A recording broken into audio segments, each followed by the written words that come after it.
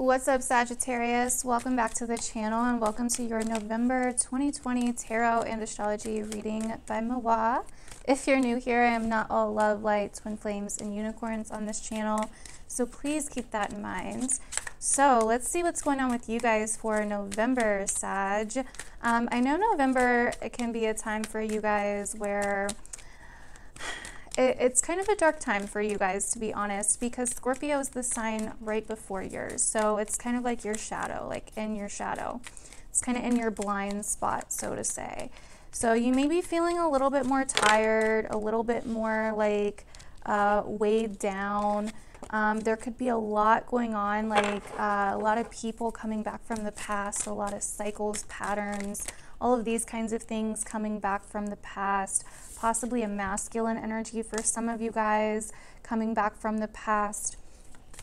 Um, and here's the thing I feel like you guys aren't really having it if that's the case, because right next to that we have Queen of the Moon sovereignty. And so, I mean, some of you guys could be, but I think it's just really important that you guys keep your cool. You know, like you keep in mind your sovereignty. We also have surrender here. Okay. So there is a level of like a lot of you guys wanting to be active, I feel here. Um, well, a lot of you guys, not like all of you guys, but some of you guys are trying to be active. Some of you guys are trying to get stuff done. Some of you guys are really trying to take a lot of action. And here we have wisdom. And what I see here is it's like, no, you need to surrender to your inner wisdom in a certain situation. Um, it doesn't have to be like with a masculine energy. Yeah, we have trust here, although I kind of feel like it is. or for some of you, you could be the masculine energy and maybe you're just trying to get shit done and you're like, what the hell is going on with my flow, man?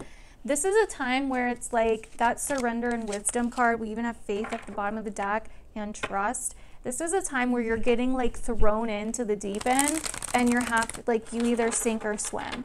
And so the best way to deal with this is to allow yourself to let go. Allow yourself to surrender to whatever the hell is going on. I know it's fucking hard, man. I know it's hard. I know it's hard. I'm not trying to sit here and downplay it like it's like the easiest thing in the world to do. Um, but this is important. By surrendering and trusting, you gain some kind of wisdom, Sag. So that's that's important. Okay, so I do feel like I'm not going to take these because it's a little too many, but I do feel like there is somebody that has came back around, um, maybe for some kind of reunion, um, something like that uh, or something, someone from the past, okay, or a situation even from the past. Heartache, loss, foundations, and achievements. So, yeah, there is a little bit of. There is a little bit of sadness or a feeling of being down here when it comes to your achievements, when it comes to like a milestone or feeling like you like you're going backwards in some way. But with the Destiny card, which is the Wheel of Fortune, this is saying that this is part of the plan in some way. Um, third eye chakra, which I know doesn't always help to say if you can't see it, but this really is, um, this is happening for some kind of reason. You may have gotten thrown off track because there's something here that the universe is trying to show you. There's been an illusion that you've been under, a way of looking at something, a way of perception that hasn't been necessarily true. We also have shadow and hope. Yeah. So this is definitely a time of the shadow for for Sagittarius. Like this is definitely a time of going into the unknown. Um, with the card hope there, you're going to be fine. Like this is this is a card of like renewal, renewed hope. By the end of this month, you're going to be fine and you're going to have a solid foundation to build upon. You're no going to be you're no longer going to be feeling um, disconnected and like bored with your life, you're going to start feeling like, okay, I know I have like a solid plan now. I have like a solid, something solid set here. Wow, you have two cards about triumph. New beginnings. Yeah, this is like a renewal month for you guys, Sag. It's like purging the old shit, purging the past, so you can um, do something new. So you can completely Figure out what it is that you want to do. A lot of you guys have been feeling a little bit down, like, I don't know what my purpose is, I don't know what my meaning is, like, what am I supposed to be doing here? What's my destiny? What's my fate? Like, what's going on? There's something here where the cards are really asking you, like, it's okay to surrender, it's okay to have faith, it's okay to trust, you know? Door to spirit, walking away. Yeah. So, this is something that, wow, isn't that something, right? So you find spirit, you find a sense of meaning, purpose, spirituality, inner peace by walking away from something. And that's right under heartache and loss.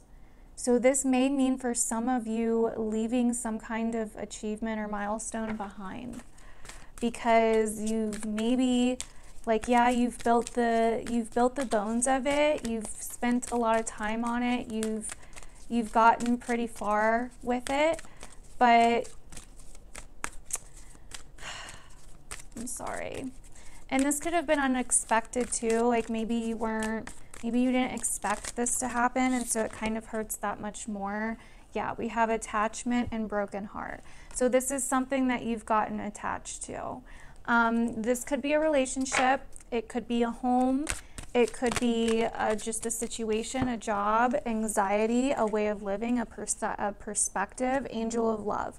Okay, so definitely, I feel like for a lot of you guys, this is probably about romance. Um, we have door to romance on the bottom. A lot of romance, which I mean, we did just go through Libra season, but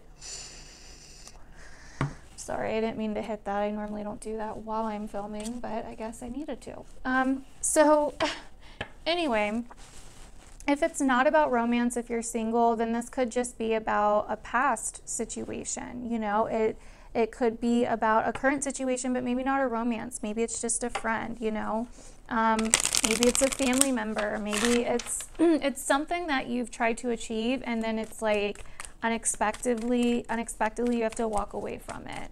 Um, but this is leading you to the door to spirit. This is the door to spirit. Walking away is the door to spirit from whatever this is because it's getting you out of your comfort zone, Sagittarius. It's helping you get out of your comfort zone. It's helping you take off the mask and it's helping you become unchained. And it's going to help you heal your heart in the long run. I see you guys have a lot of anxiety about this situation. Yeah, you have a lot of anxiety because of conflict. You're trying to avoid some kind of conflict. You also have the Six of Swords here, moving through some difficult waters. You're trying to take the past with you, and it's like, no. but this is your door to independence. This is your door to feeling to self worth in some way. You know? So, yeah, this, I mean, Scorpio season for you guys is about leaving the past behind. Um, it's about embracing your own independence. Um, yeah, we have the Strength card and the Three of Swords. This is about healing your heart. And a lot of you guys have tried to close your heart off because you're like, nah. Not doing that again. Like, I'm just going to close that mother effer off. Uh, for some of you guys, though, this is about this is about work. God, the Seven of Swords and Three of Swords is coming out, man. Like crazy. Some shady shit going on, man. A lot of these readings. the Five of... Okay. So yeah, it, it feels like either someone didn't do what they said they were going to do, or someone betrayed you, or they left you or abandoned you in something, or you're ha- you feel like you're having to do that to someone else. We have the Ace of Wands and the Chariot, and the Page of Rods, and the Wheel of Fortune again at the bottom of the deck. So this is about moving forward, man. This is about finding yourself right now and going with the flow of the universe, literally. Um, and this could just be a situation from your past that you guys are finally leaving behind. It may not be a current situation, like I was saying, but this is definitely getting motivated. Like, motivation is going to come back, and you're going to feel motivated to start like to be inspired again. You're going to start being inspired again. You're going to start being inspired to go do things, to be more adventurous, to go go on some kind of soul search. You know what I mean? Is really what I'm seeing here, Sag. Um, so for your month of November, uh, Mercury is going to be in a spot for you that is all about your social life, your friends um, in the beginning of the month. Um, so there could be a lot of old acquaintances, a lot of old people you used to talk to, um, old relationships, old friendships, like coming back into your life. Um, but then Mercury is going to come back into Scorpio um, around mid month, okay? And so that's definitely going to be a time where you things are going to start adding up to what you've been going through for the last couple months. Um, you know, maybe it's been really hard for you to focus, or maybe you've been really reflecting on your past and really reflecting on your insecurities and um, deep seated stuff from the past, uh, deep seated uh, power struggles in the past, just like really deep shit, shit that you've been avoiding or trying to escape for a while. And so, with Mercury going back into Scorpio, you're going to be able to start getting to the root of these issues and healing them. This is a very healing time. Yeah, it brings up some some loss. It makes you face some deep emotions that maybe you've been putting off for a while. But in the end, it's like so fucking worth it, Sag. Like it is so worth it. Um, so on the 12th, we have Jupiter conjunct Pluto for the last and final time in Capricorn. So, this is going to be a major shift in your priorities and what you want for yourself and what you value. All of these different kinds of things. Also, income, money, possessions could be a theme there. Mars goes direct on the 13th, and Mars is in Aries, which I believe is your fifth house. Yeah, it's your fifth house. So, um, once Mars goes direct, uh, there's going to be a lot of forward movement when it comes to your passions, what you love, uh, self expression, you know, where you feel. Where you feel confident, whoops, where you feel confident from creating and expressing. Um, also, this is the house of children and pleasure, where you find pleasure. Um, so, if you've been in some weird competition or been having trouble um, doing the things that you love for a couple months now, that's going to start moving forward. Okay, you're going to start finding your passion again. Mid month is good. Mid month, things start moving forward. It's good. And then we move into eclipse season once, once we get into Sag season, your season. Um, so on November 30th, we have the full moon lunar eclipse in Gemini, your opposite sign. This is a big one. this is when everything changes in the relationship department for you, Sag. This is when things start getting really cray cray.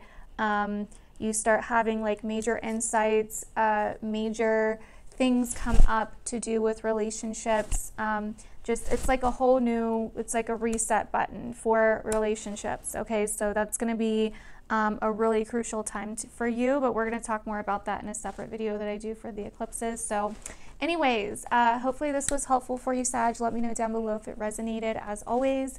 And if you want anything else from me, like uh, if you would have followed me on social medias or anything, just see the description below. And I will see you guys in my other videos. Bye.